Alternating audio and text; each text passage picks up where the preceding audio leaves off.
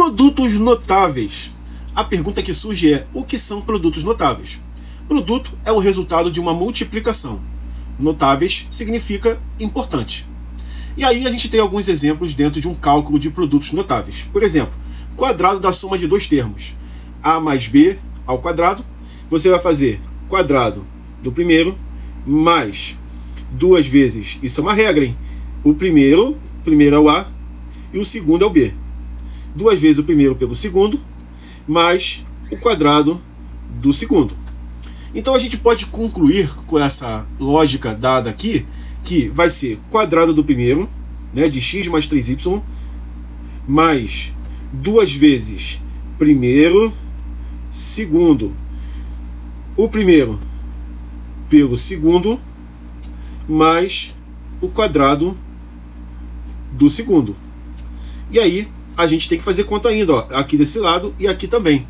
A gente vai ter x ao quadrado mais 2 vezes 3, 6xy 6xy mais 3y ao quadrado, 3 vezes 3, 9, y ao quadrado. E a gente fecha a questão aqui, ok? Vamos para a próxima, no próximo exemplo, vamos lá. Em produtos notáveis, a gente tem o quadrado da diferença de dois termos. Como é que seria isso? Quadrado do primeiro, esse aqui é o primeiro, esse aqui é o segundo. Então, quadrado do primeiro menos duas vezes o primeiro pelo segundo, uma multiplicação. Quando eu falo pelo segundo, eu estou falando multiplicação. Mais o quadrado do segundo. E como é que ficaria isso dentro de uma equação normal, né? de, um, de uma situação que tenha cálculo com números? Vai ser aqui, ó. aqui é o primeiro, aqui é o segundo. Quadrado do primeiro, aqui vai ser menos. Eu coloquei mais, mas era na verdade menos. Então vai ser menos aqui. O exemplo que eu dei tem que ser menos menos duas vezes o primeiro vezes o segundo mais o quadrado do segundo.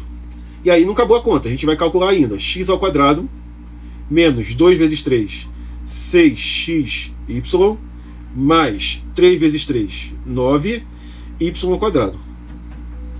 E aí a gente tem a nossa resposta, ok? É isso aí. Agora, em produtos notáveis, eu tenho produto da soma pela diferença de dois termos. Ó, A menos B vezes A mais B, que vai me gerar A quadrado menos B ao quadrado. O primeiro ao quadrado menos o segundo ao quadrado. Então aqui vai ser o primeiro ao quadrado menos o segundo ao quadrado. Então, x ao quadrado menos 3 vezes 3, 9, y ao quadrado. E assim a gente fecha a nossa questão, viu aí? Não esquece de dar like no vídeo, de compartilhar com seus amigos, de estar se inscrevendo no canal e dando o seu like novamente, ok? É isso aí. E espero você na próxima videoaula.